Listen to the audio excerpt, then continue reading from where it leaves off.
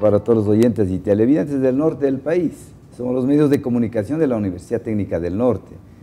Retransmite nuestro programa Radio Universitaria en la 101.1. Esta mañana vamos a hablar sobre el gas de la vida. Es el ozono, esa capa que tenemos en la atmósfera que nos protege de los rayos solares. Pero este ozono tiene funciones específicas terapéuticas. En este caso vamos a ver justamente cómo se lo utiliza el ozono en hernias discales con el doctor Cristian Muñoz. Él es médico con especialidad en, homeopatía en la Universidad Andina Simón Bolívar y también una especialidad en ozonoterapia en Cuba. Doctor, buenos días. Qué gusto tener acá. Buenos días, doctor. En realidad, este gas de la vida se lo usaba desde la Primera Guerra Mundial porque no había sulfas, no había antibióticos y daba muy buenos resultados porque era antiinflamatorio, analgésico y antiinfeccioso.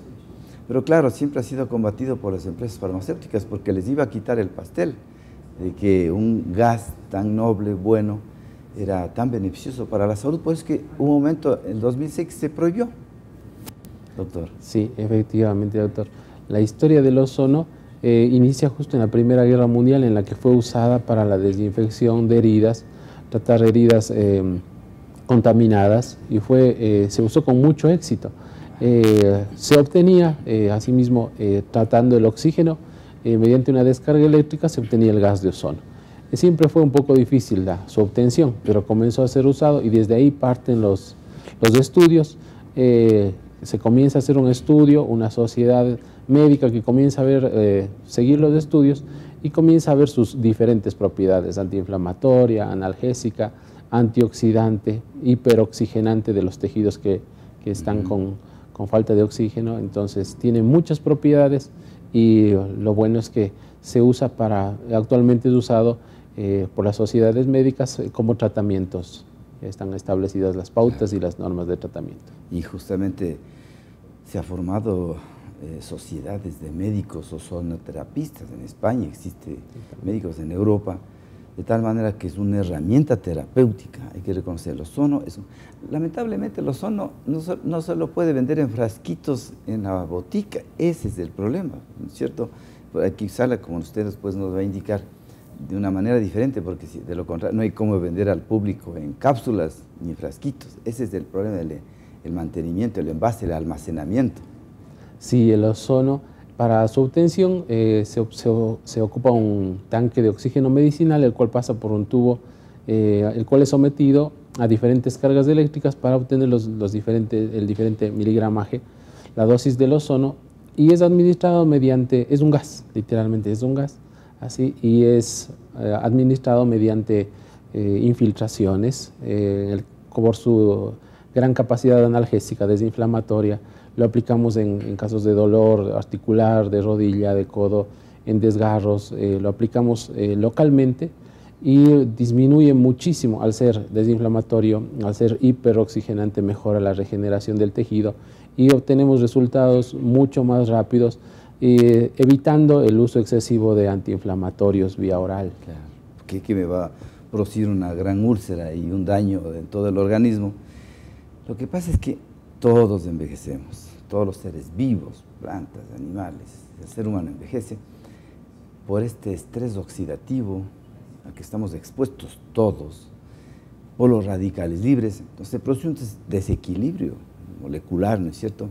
Y este ozono administrado inclusive por vía venosa, porque se lo puede administrar por vía venosa mezclado con lactados, con algún suero, eh, mantiene la armonía interna ese, equilibrio que necesitamos para enlentecer este proceso inexorable.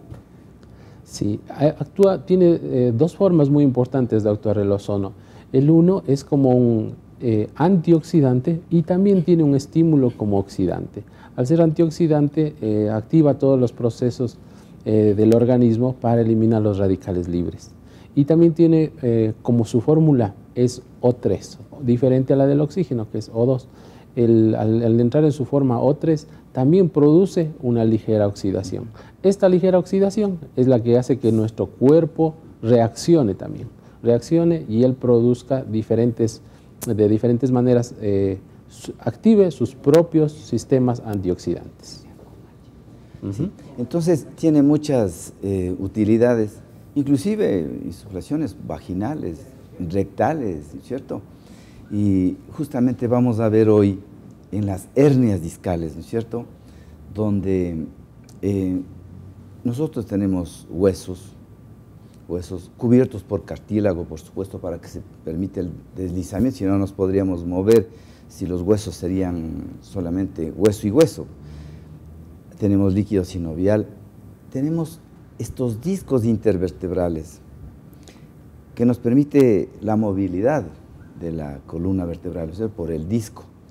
Estos discos se deterioran. Por ejemplo, si yo soy una persona que hago ejercicio extenuante con cargas, probablemente voy a dañar este disco intervertebral y se van a producir hernias. La vejez, muchas veces, eh, hay problemas congénitos también en enfermedades. ¿Cómo reparar estas hernias discales? Porque la hernia en, la columna vertebral, esta salida de, este material que es el cartílago, produce compresión de los nervios y dolores que molestan, crónicos y que no le dejan ni dormir. Entonces, ¿cómo actúa el ozono en las hernias? Sí, doctor, efectivamente la, patología de la columna es una de las más vistas, ¿no? Eh, las estadísticas dicen que el 45% de la incapacidad que tienen los trabajadores es por el dolor lumbar. Eh, entonces, asimismo, como una casa, hacemos siempre la comparación, está eh, sus pilares, sus columnas son las que sostienen el cuerpo humano, está sostenido por esta que es nuestra columna, la cual tenemos que darle mucho cuidado. Eh, actualmente vemos patologías de columna graves que podríamos decir que ya son las hernias discales en pacientes muy jóvenes, 35, 40 años, con una y hasta dos hernias, por la falta de cuidado que tenemos. Eh, el creer uno que puede hacer, hacerlo todo, cargar eh, dos quintales y hasta tres sin una, una faja de protección. Ahora la medicina ocupacional que está, está mejorando ya les, les, exigen que este ellos... Este corsé. Exactamente, el, de barras, que lo usen porque es la protección para la columna, pero eh, no, no, todavía no está, no está bien eh, eh, difundido esta, esta enseñanza. Entonces acuden pacientes muy jóvenes con, ya, con exámenes que nos indican dos, dos hernias ya. Entonces la, la indicación siempre ha sido hasta ahora quirúrgica. El tratamiento que se hace, pero la opción que tenemos como alternativa es con el ozono. El ozono con su efecto antiinflamatorio actúa justo a nivel de la cascada inflamatoria. Eh, las, hernias las hernias es justo el disco intervertebral está entre, como usted lo decía doctor, entre cada hueso. Está en la mitad y al sufrir un aplastamiento, eh, una debilidad de sus fibras, está conformada en el centro por el núcleo pulposo y alrededor del anillo fibroso. hay una ruptura y esa ruptura produce una compresión a nivel de las raíces nerviosas y eso produce un dolor referido, sean a nivel lumbar, sean hay hernias cervicales, torácicas y lumbares que producen irradiaciones, al ser cervicales hacia los brazos, miembros superiores, torácica justo en todo el, pecho, o lumbares que producen dolores de la cadera o del nervio ciático irradiados. Siempre hay que hacer una evaluación completa, ¿no? Porque cuando existen casos de compresión, eh, canal estrecho eh, mediante una electromiografía se comprueba que el nervio está demasiado, demasiado oprimido, es necesaria una cirugía inmediata. Pero cuando vemos que hay cómo dar el tratamiento, previa evaluación, hacemos el tratamiento con ozono. El ozono, como dije, ah, eh, usando su, su, efecto antiinflamatorio, produce una, un bloqueo en el, la liberación de proteoglicanos que se dan contenidos en el núcleo pulposo del, de la hernia, del disco intervertebral el que está roto. Están libres, entonces va y detiene la cascada inflamatoria ahí, lo detiene. Luego produce una deshidratación también del anillo fibroso que también está herniado y produce una liberación de la compresión de las raíces nerviosas. Porque en realidad estas hernias discales, que es muy frecuente, como usted decía, la primera alternativa era eh, la cirugía. Por supuesto, con exámenes previos, ¿no es cierto? Una radiografía, una resonancia, una tomografía axial computarizada, una electromiografía que es importantísima. Pero si hay esta posibilidad, porque le digo sinceramente, doctor, a nadie le gusta que le operen la columna vertebral. Y la, de las columnas cervical, dorsal, lumbar, sacrocoxigia, la más afectada generalmente es la lumbar, por el tipo de trabajo, por el tipo de peso que Después sigue la cervical, pues, es cierto? Y la dorsulumbar es muy poco, ¿no es cierto?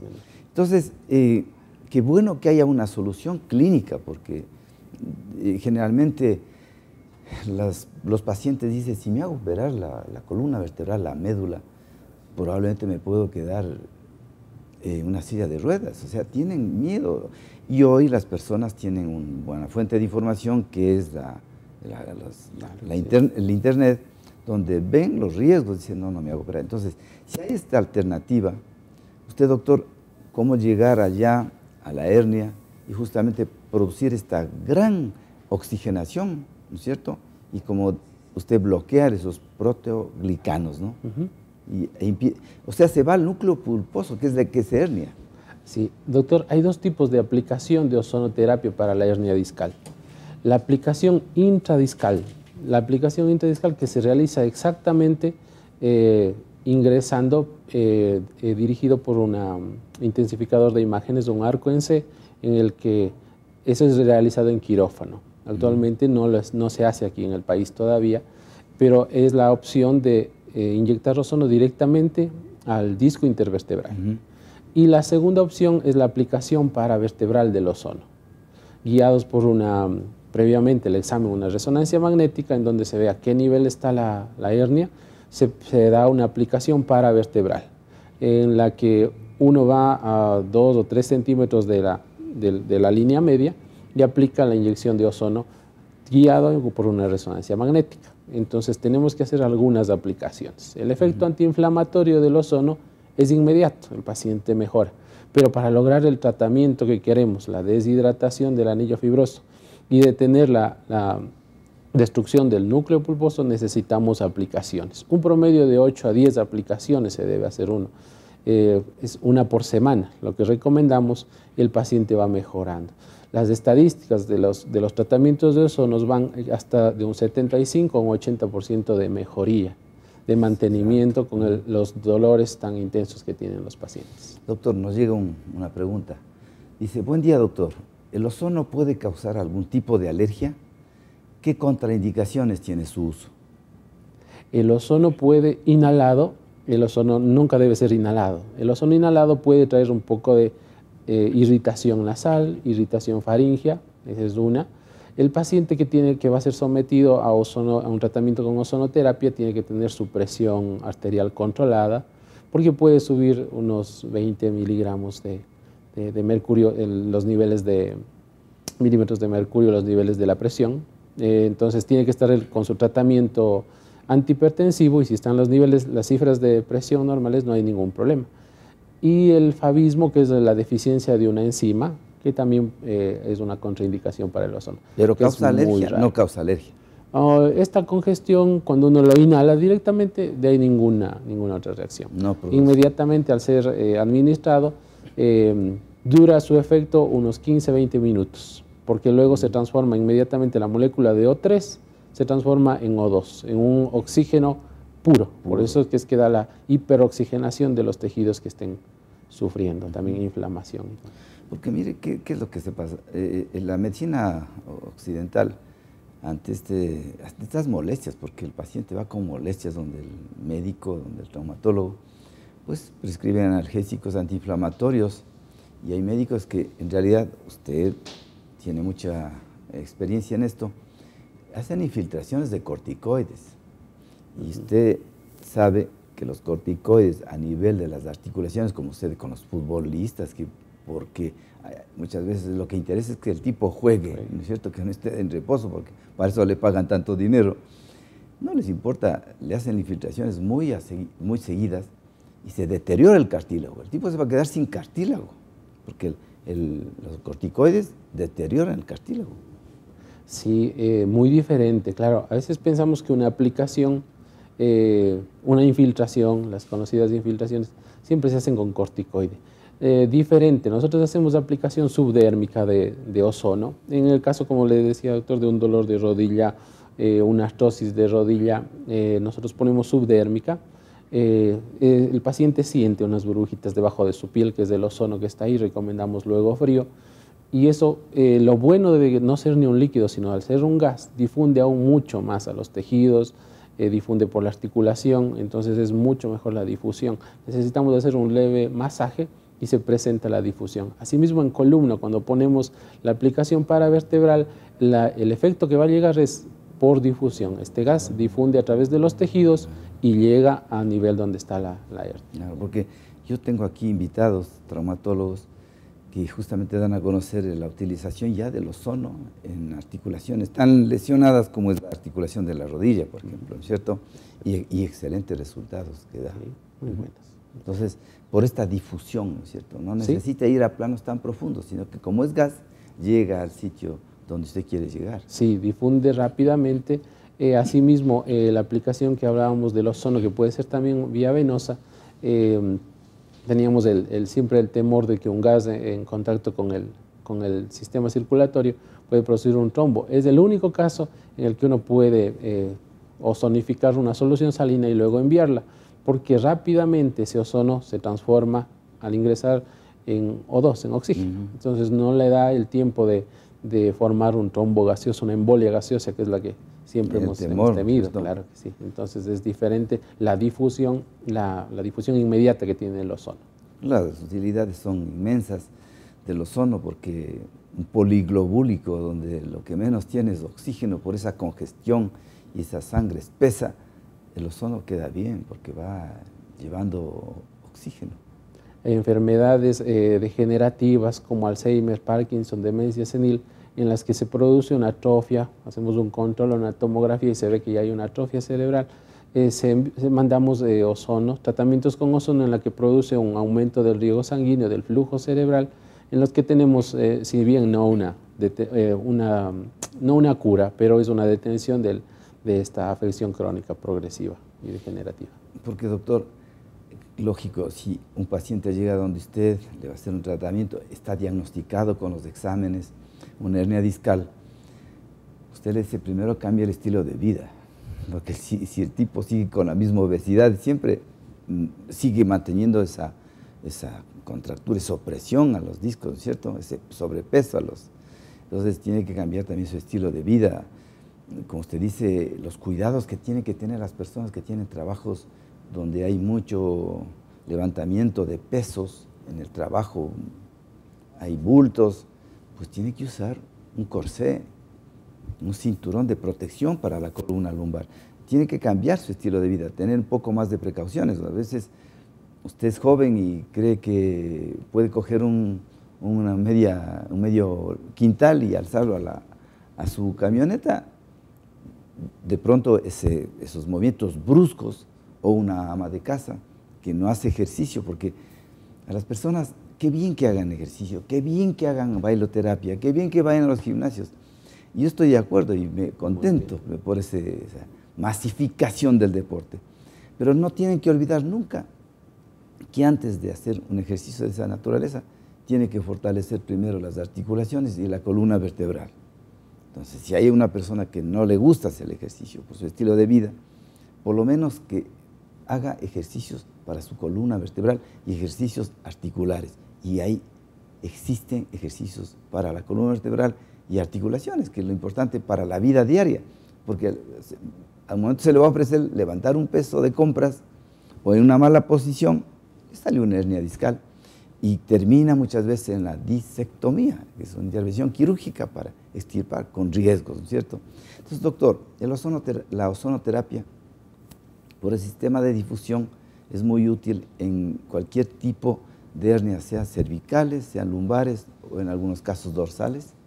Siempre tenemos el, mejores resultados en la hernia cervical y en la hernia lumbar, porque tenemos los músculos paravertebrales, que es en donde se pone la aplicación que tienen un gran volumen. Entonces tenemos, podemos hacer una, aplicaciones de hasta 10 centímetros de ozono y va a ser una difusión buena. Eh, tenemos un poco menos de resultados en las hernias torácicas por la cercanía que tenemos con los pulmones. Entonces no hay como hacer una aplicación muy profunda. La hacemos ahí sí subdérmica y siempre disminuye un poquito la efectividad, pero en lumbares y cervicales es mucho mejor la efectividad. Doctor, por ejemplo, se le atribuye al, ozono, la, dice, el ozono es un activador metabólico. ¿En qué sentido? ¿Cómo es la activación metabólica del ozono? Hay diferentes efectos. Uno que produce, eh, uno de ellos es activar los glóbulos blancos, por ejemplo, subir, regular la inmunidad, no diríamos así. Por ejemplo, para casos de artritis, en los pacientes que tenemos artritis ponemos ozono vía venoso, en la que produce una regulación de la inmunidad, actuando sobre los glóbulos blancos, en que en este caso de esta enfermedad, por ejemplo, estarían muy, muy alterados, muy elevados. Una reacción autoinmune. Eh, regula la inmunidad. Entonces, al regular la, la inmunidad del paciente, producimos un equilibrio y disminuye la inflamación interna. Eh, diferente y alternamos con los medicamentos inmunosupresores tradicionalmente usados, pero juntamos el ozono a esto y, logramos mejores resultados. El efecto sobre los glóbulos blancos es ese. Sobre los glóbulos rojos hablábamos la, la hiperoxigenación que produce pacientes que tengan enfermedades crónicas degenerativas por hipoxemia, eh, actúa sobre los glóbulos rojos. En las plaquetas mejora lo que es la cicatrización. Entonces, eh, actualmente se usa hasta plasma rico en plaquetas activado con ozono. Entonces, se llevan muy bien en todo, con todos los componentes de la sangre. Por eso produce algunas mejorías en diferentes partes, en diferentes sitios del organismo. Doctor, nos llega otra pregunta. La escoliosis, malformación congénita que muchas, personas tienen escoliosis a forma de S, ¿no? ¿Escoliosis puede generar hernia en la columna? El ozono ayuda con la escoliosis, estoy leyendo textualmente. Ya, eh, sí, la escoliosis es la, eh, digamos así, está la, columna desviada, ¿no? Entonces, em, esto ya produce un dolor crónico del paciente, produce una contractura muscular, produce dolores eh, cuando el paciente no haga, haga mucho esfuerzo físico, entonces los pacientes ya tienen su escoliosis. ese va a ser una, un desvío una malformación anatómica que no va a ser corregida, eh, pero con ozono, con aplicaciones de ozono podemos, cuando el paciente tenga dolor, a la aplicación subdérmica eh, va a quitar ese dolor del paciente.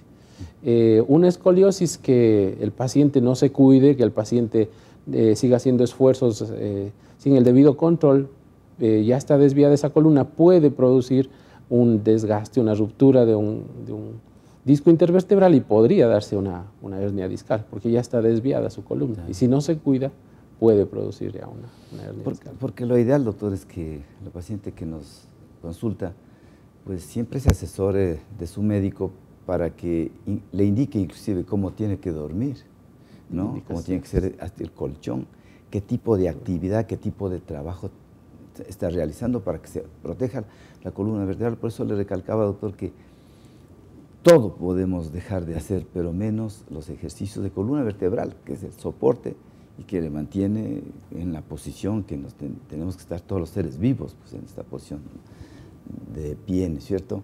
Entonces, y la columna vertebral, como el nombre lo indica, soporta el peso de todo el cuerpo, entonces mantiene el equilibrio.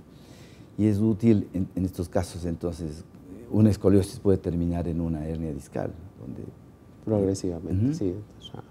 Doctor, el, ozono, em, por supuesto que hoy hay personas como usted, que son muy pocas, que siguen esta especialidad para eh, este tipo de, alternativas, porque hay que ser muy puntuales en que la ozonoterapia no es la solución definitiva de un tratamiento, es un, es un complemento, ¿no es cierto? Es un complemento para los tratamientos. Sí. Eh, sí, es un gran complemento, doctor. Hablábamos que pacientes con artritis que llegan con su tratamiento oral, llegan muy descompensados, con mucho dolor, administrándose corticoides, eh, metotrexate, sus tratamientos habituales, pero llegan muy, muy descompensados, en los que sumamos el tratamiento desinflamatorio, inmunoregulador con el ozono y se complementa el tratamiento. Entonces el paciente eh, ve la mejoría. Pacientes con eh, artrosis de rodilla en los que también están con su tratamiento, mucho dolor, eh, mucho analgésico, gastritis por su analgésico, hacemos, complementamos el tratamiento con, aplicaciones subdérmicas de ozono, el paciente obtiene mucha mejoría y la reducción de tanto consumo oral de, antiinflamatorios. Asimismo, en la hernia, como dije, tenemos un porcentaje de mejoría del paciente del 75 al 80% en sus dolores, en sus molestias, em, puede retomar su vida siempre y cuando, con lo que hablábamos, con los cuidados debidos que él tiene que tener. Así el paciente se ha sometido a una cirugía, luego de su cirugía el, neurocirujano le dirá lo que él puede, los cuidados que debe tener. Asimismo, cuando sometemos a un paciente a un tratamiento con ozono, el paciente mejora, pero luego le indicamos todo lo que él tiene, que, los cuidados que debe tener, para que, em, si hemos desinflamado, para que esto no vuelva a recurrir. Porque hay operaciones muy complicadas como un postinfarto, eh, que bueno, que es la sonoterapia para mejorar la oxigenación de ese, corazón. Del tejido, eh, del tejido infartado, sí, del tejido que sufrió, mm, eh, sufrió la falta de oxígeno, sea también cerebral, la administración de, ozono es muy buena, inmediatamente recupera, la recuperación es mucho mejor y mucho más rápida, porque hay una hiperoxigenación y se logra, se intenta recuperar el tejido lesionado. Doctor, estamos en el minuto final yo quiero agradecerle a usted, siempre es muy gentil. Un mensaje en un minuto para que quede en, los oyentes y televidentes para que comprendan qué utilidad tiene el ozono en la salud. Claro que sí, el ozono es un agente eh, natural, eh, encaminado a la desinflamación, encaminado a, evitar el estrés oxidativo, está ahora a nuestra disposición.